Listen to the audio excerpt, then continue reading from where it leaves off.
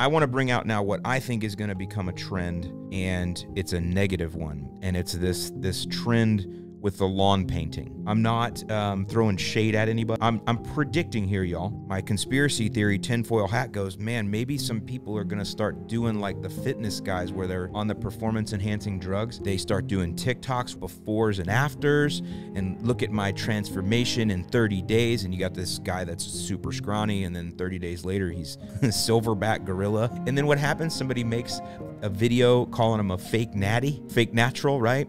And now you have full channels that are dedicated to calling out the the fake natties. They're going to paint their lawn all summer and they're going to claim that it's all natural. And they're going to have Instagrams and tic- and they're going to show before and after and and what it'll start at is it will be 30 day transformation, right? But they'll just paint to get there. And but eventually it'll get down to one week transformation, two day transformation.